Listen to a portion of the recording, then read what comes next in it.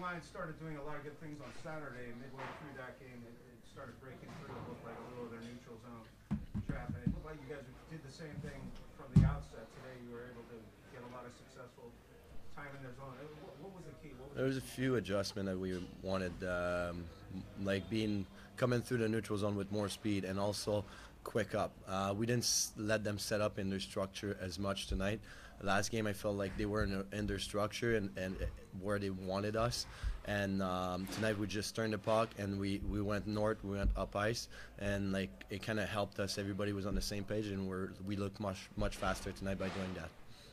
Now, you also seem like there's a lot of net front, front presence tonight, getting those second chances. It's it's it's a key to to this game. Uh, if you want to score goals, you got to go to the paint. You got to be determined to uh, to go there and create chances. Maybe it's not going to be for you, but it might be for your line mates.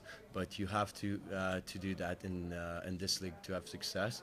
And uh, eventually, you get bounces and they go in for you. So I think uh, that was um, uh, better. We we did a much better job tonight doing that middle lane drive on the rush.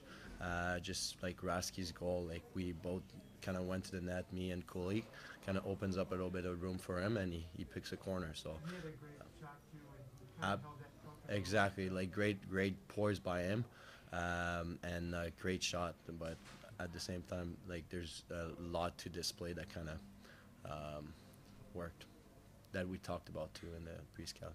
You knew that they were gonna push in the third, and yet you guys responded with a couple of quick response goals. Can you measure the importance of that? Yeah, absolutely. I think those goals are very important.